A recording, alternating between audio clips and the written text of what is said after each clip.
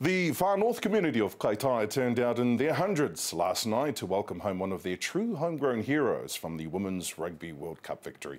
Black Ferns prop Krystal Murray was born and bred in Kaitaia and after scoring a try in the final against England on the weekend was given a hero's parade through the streets where it all began.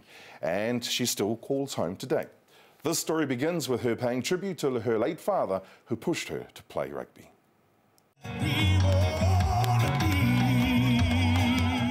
Worked crazy hours. He'd work Christmas Day if he could. He loved working, um, but he used to always take time, time off work.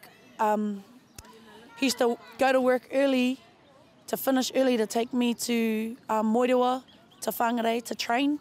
Um, and that was the sacrifices that he's made. And this medal here is 100% for him, um, for my whānau, for my hapori, for my community blessed that we have a beautiful community like this, and um, I'm happy that everyone's come out to acknowledge this because for our young ones, they've got to see it to be it, I think, and, and yeah, that's what's happened today, and I'm glad the, the community's got behind it and come out.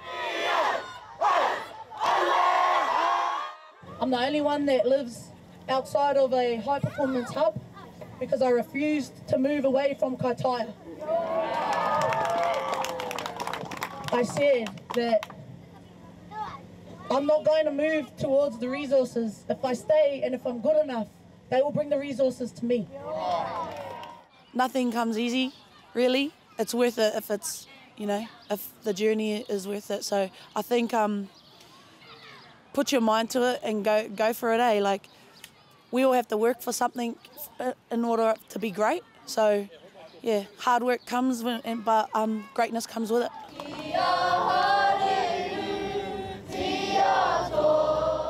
Very proud. Anyone who knows me knows I rep KTA all day. Mori whenua hard. Um, I love this town. I spoke about it earlier. I, will, I, will, I won't leave this town. I love this town.